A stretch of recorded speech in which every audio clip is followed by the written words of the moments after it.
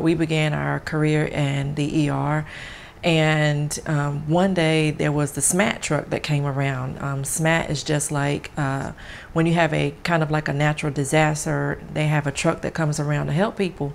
And so the SMAT truck came around one day and we were um, given a tour. And so what that essentially is, is um, kind of like a mobile hospital. And it had a bunch of seats and a bunch of IV poles that were coming out of the ceiling.